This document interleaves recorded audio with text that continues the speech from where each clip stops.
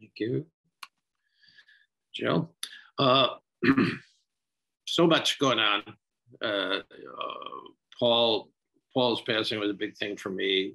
Uh, um, Karen Abney's dad, she's a woman I've been walking with for some years. Her dad was buried on uh, Friday.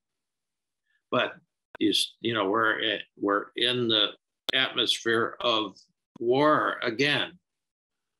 Uh, it's been really 20 years for me. I was reflecting on that and uh, getting ready to to uh, for today. And so I went back and read a poem I wrote 20 years ago, and uh, it's still good. it's still true. I wrote this, uh, and I can sort of share the feelings of a lot of Russians that uh, who are gutsy people. I love the Russian people. I love their literature. I spent a lot of time reading uh, the Russian classics in college. I mean, I cried at the end of the Brothers Karamazov. I literally wept. And by that, at that time, I could count the number of times I had cried in my life. Well, I can't anymore, but I wept and I started it over. It was the only uh, only book actually I ever did that because it was too good. I didn't want it to finish, so I started it over. War and Peace, Anna Karenina. I mean, these people have soul and uh, they have guts. When you see people out in the streets saying, "Hey, we don't like this," and they're going to jail, and jail in the Soviet Union or in Russia uh, is no small thing. So I feel for those people and for the Ukrainians. But this is, this is, yeah, it was very hard for me 20 years ago to be sitting here as we went into shock and awe and started bombing uh, the good people of Iraq.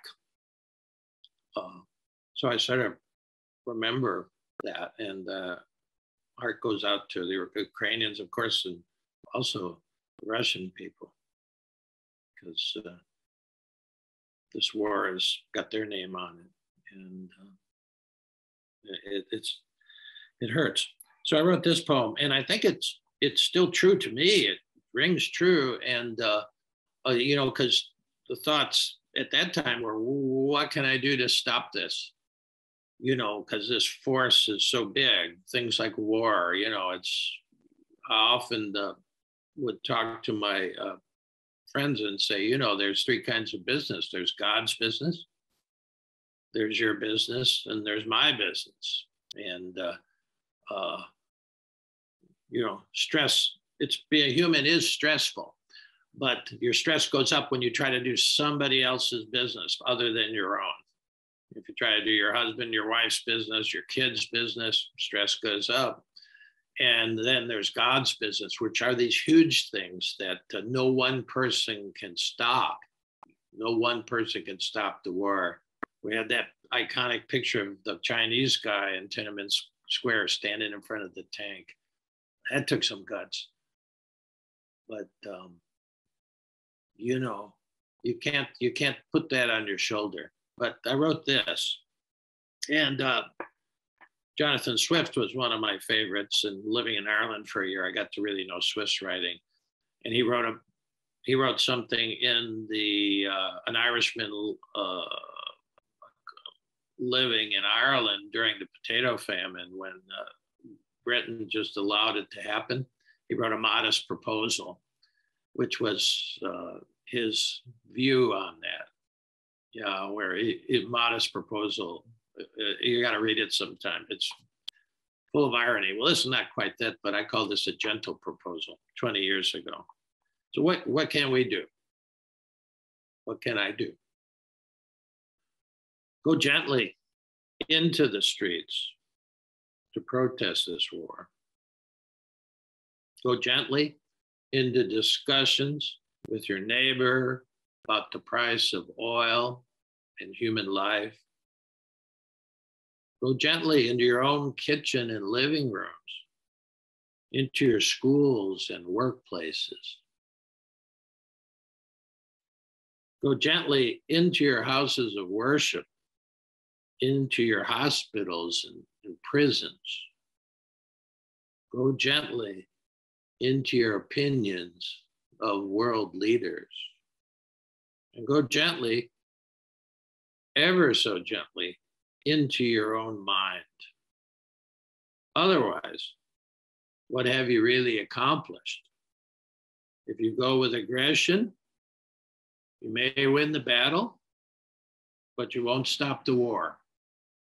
For aggression is war. All wars are lost as soon as they begin. So go gently into the very thick and heat of battle. Go gently. And even if your cause does not prevail, there will be more peace in the world than before. So go gently into the very thick of and heat of battle. Go gently, and even if your cause does not prevail, there will be more peace in the world than before. Yeah, that, that's still true for me. And the line, uh, well, there's a couple of lines here that really resonate currently.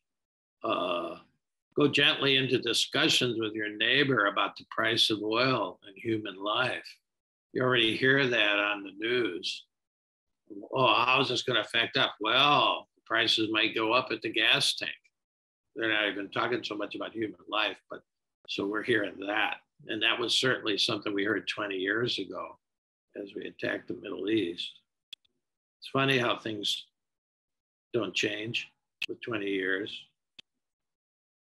Go gently into your opinions of world leaders. That's a tough, that's a tough one.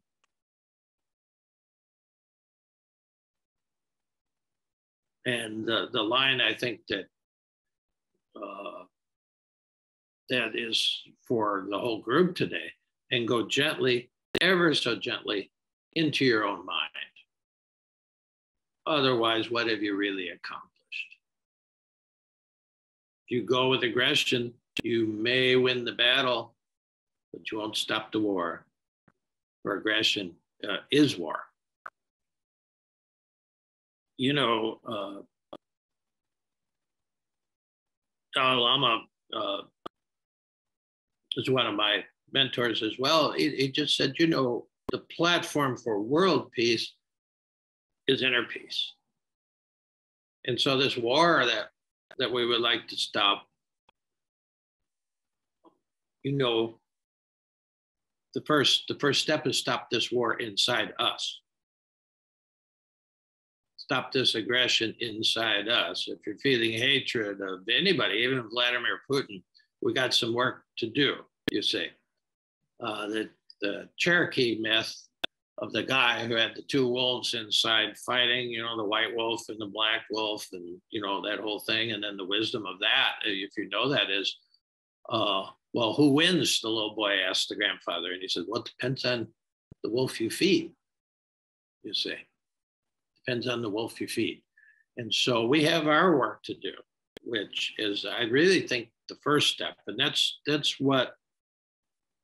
Uh, this community is about. It's what we can do here. Uh, we can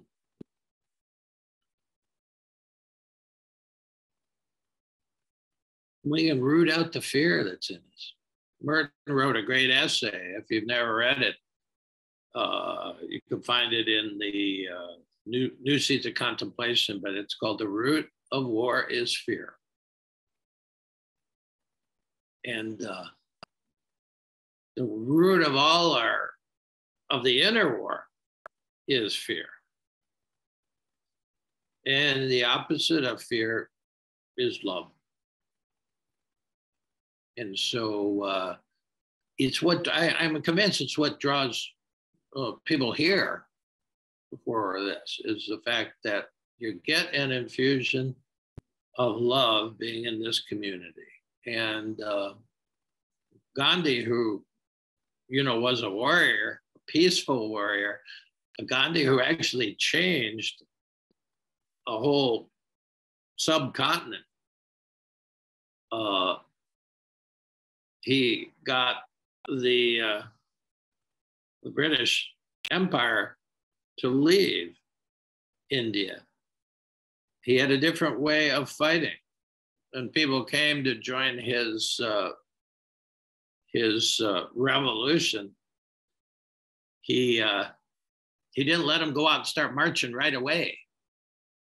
Uh, if you if you see the film Gandhi, there's this scene where this young American or British woman came from uh, Great Britain to work with Gandhi to get the British Empire out of India, and uh, she wanted to go out and march. And he said, said no, uh, stay here, learn how to spin. He had this, he was having people spin their own cloth. You know, the spinning wheel was the symbol of uh, his India. He said, we can, we don't depend on British cloth. We can make our own cloth. We can stand on our own two feet.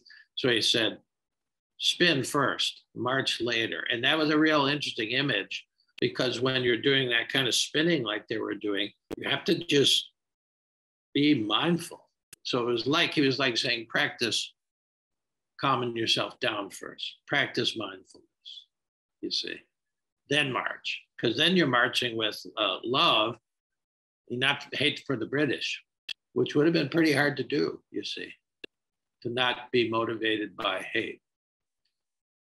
So when you talk about, uh, I had a, I talked to a, a young college girl the other day who uh, I was, had a Zoom call with her. She goes to school out in Colorado and uh, named her named Lizzie, and she, she was asking me about what I do, and uh, uh, and uh, what the spiritual journey is all about, which is very interesting that somebody in college would be interested in that. I certainly wasn't.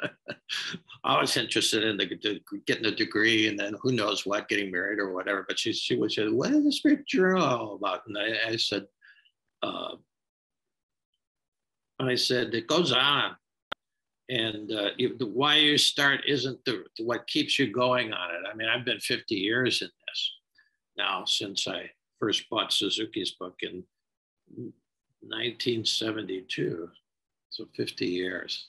I'm old, but uh, I said uh, it doesn't matter why you come. That's why I think it really doesn't matter why you you come uh, here uh, today or any day, or why you came two years ago for some of us but it does matter why you stay. And uh, that's love. And I, I told her, I said, uh, some of you have been to Loose Leaf Hollow. I'm looking at it right now. There's a big German stained glass that came from a Benedictine monastery up in Indiana when they they they they, they built it in the 1800s and they were taking out all this uh, stained glass and uh, uh, putting in new ones. And this it has the omega as the uh, end of the uh, Greek alphabet. And, you know, there's the talk about the alpha and omega, the beginning and the end. And um, uh, I've often thought, gee, I wish I had the alpha, you know, hanging over on the other side there. Be really great. But but what, what came out in my talk with this young girl was uh, the alpha and the omega are the same in the spiritual journey. Love, love is the motivation that will keep you going. You, you know, it wasn't the motivation that I started with, but at some point came from, you know, you can call it whatever you call this you want, you know, call it God or call it just a unified field, but somewhere love kept me going on it. Uh, uh, love's a motivation. And at some point it becomes the aspiration. You want to become a person that can bring a little more love into the world. Paul Farmer did. He did it by, you know, if somebody's sick, you heal them. You know, uh, there's so many ways to love people. Somebody's, uh, he really believed in uh, Matthew 25 in the gospel. How do you love, how do you love somebody who's hungry? Well, you feed them. This is really, you know, it's, it's nitty gritty, but to actually that your life gets more and more taken over with. So really, I, I said, you know, really it's the beginning and the end of this thing. Is it's at some point if love doesn't come in, if you're doing it out of fear, the way you know maybe a lot of us went to church in the old days, you went because uh, you know you're afraid not to. Well, hopefully nobody's here for that reason. But we do have parts of us that are still afraid. That's what gets transformed. I said it's a it's a trip of total transformation. In the motivation of fear eventually gets transformed just in the simple act of where we're, we're going next. Uh, just the, the simple act of just allowing yourself to just be without thought, without belief, even, uh, but in in faith that um, you know these guys that we know, like Paul Farmer, like Thomas Merton, like Dalai Lama, like Pema Chodron, these people all did this in their own way. They all would just sit down and open up to the divine, however they would picture that, but just open up to the love all around them and soak it in. And over time, it would change them. Over time, it did change them. That's we're in that tradition. Uh, Rumi says, "Open your arms if you want to be held." That's one of the great teachings. You know, open your heart if you want to be loved. And, you know, this is not a meditation posture. You know, it just isn't. That's why you know we sit, we open up the heart, you know, you know, unfold your arms, open your arms if you want to be held, open your heart if you want to be loved, and be love. You see, that's what we're doing here. So, and that's how you end the war. We need people who are bringing that into the world. There are many of them, uh, uh, and I and I and I think we just have to be one of them. We have to people who end the war inside. That that's one of our goals to end the fear motivating our life and uh, aspire to let it be love. And someday it will be. And you will you will change the other people around you. It spreads, it spreads. So okay, we're gonna shift over to meditation position now maybe you need to do that. Maybe you like to move from your screen to the to another chair or the floor. Maybe you stay right where you are. Just sort of straighten up a little bit. Take a few breaths.